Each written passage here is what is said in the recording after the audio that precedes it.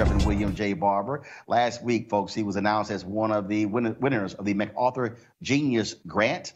Uh, it is an award which comes with $625,000 over the next five years. He, of course, longtime state chair, uh, leader of the NAACP, still a member of the national board of the NAACP, uh, also one of the conveners with Repairers of the Breach. They have been very much involved uh, in the Poor People's Campaign, picking up where Dr. King left off in, in the SCLC in 1968. He joins us via phone from Kansas. First off, Doc, congratulations.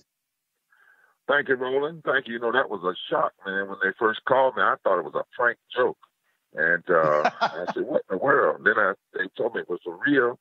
They've been watching me for a while. It was anonymous. They couldn't say who nominated whoever. I started just crying, man, like a little baby, thinking about all the years of work. But um, I'm humbled, man, and thankful. Uh, and of course, uh, you are out there doing the work uh, in terms with the Poor People's Campaign. Uh, and so, uh, got to ask, look, it, look, it, it, takes money and dollars to do uh, these things. Are you also still pastoring your church there in North Carolina? Simple question: What you gonna do with the money?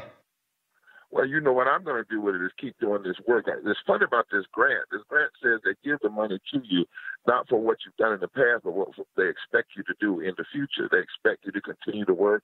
You know, working in poor communities is what we're doing. A lot of times we have to go where people cannot even afford us to come. So our plans are to take a look at how do we use it um, once things start happening in January to further this work. You know, I was in jail, I was in police custody when they announced it uh, in Chicago standing with low wage workers and janitors and McDonald workers. I'm here today in Kansas the day after Trump left. We're having thousands of people out tonight for Poor People's Campaign National Call for Moral Revival hearing where poor and impacted people, people impacted by uh, systemic racism, poverty, ecological devastation, the war economy, are testifying. And, and, and the reason they're doing it is the politicians can't talk tonight. They've been invited to come listen and we're registering people for the movement who vote. Because I think one of the things, Roland, that you not only need a villain to vote, you need a vision to vote. I'm saying the Democrats, we should just tell folks, you know, be against Trump. Be against Trump because you are for. And if you take out you know, your anger on Trump on these state legislators and these Congress people because you are for, because you can bet your bottom dollar extremists have an agenda. When they run, they know exactly what they want and what they what they're intending to do. And we've got to take them on, you know, on that term. So that's what we're doing here tonight. Kansas, we'll be in Missouri to, uh, the day after, and we just continued to move across the country. Uh, Reverend, I got to ask you a little bit earlier. We were talking about uh, what Republicans are doing across this country with voter suppression. Yeah. We're seeing uh, yeah. Greg Palast in his investigation discovered 591,000 people, re- purged from the voting rolls there. Texas drama there as well. Of course, you have seen this thing up close and personal uh, with some of the most evil people in the country. That is the North Carolina Republican Party.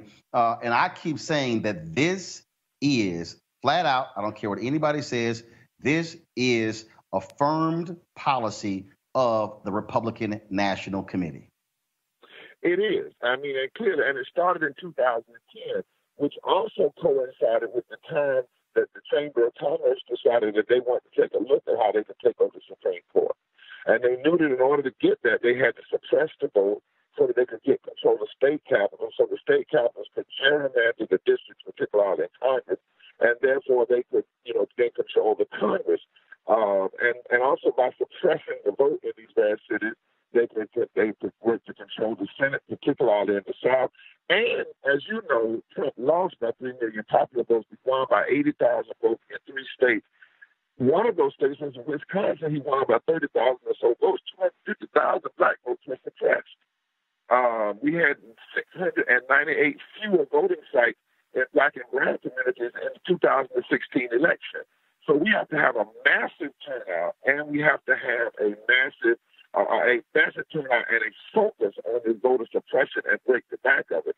One of the things people miss when Lindsey Graham went off, you know, how his support for Kavanaugh, it did not come out, uh, uh Roland, that Kavanaugh um, voted to uphold the photo, racist photo ID in South Carolina that Lindsey Graham supported. That never came out. And so, you know, when he was going off, he was going off saying he was for Kavanaugh because Kavanaugh did the very thing he wanted done in Michigan State. We can overwhelm this system, though. We, we if we get somebody said 12 or 14 percent higher than the last uh, mid-year, we can do this. So everybody, I suggest, it has to turn out and stay there, and not just turn out. We have to turn out everybody. I was at a rally last night, we were talking about how over 2 million people uh, in North Carolina who were registered to vote last time didn't vote, and a half million of those were African Americans. We cannot afford to do that when you know people are doing everything they can to suppress your vote. One last thing, Roland. Right now, we hear um, you heard today McConnell say mob rule and Lindsey Graham mob rule.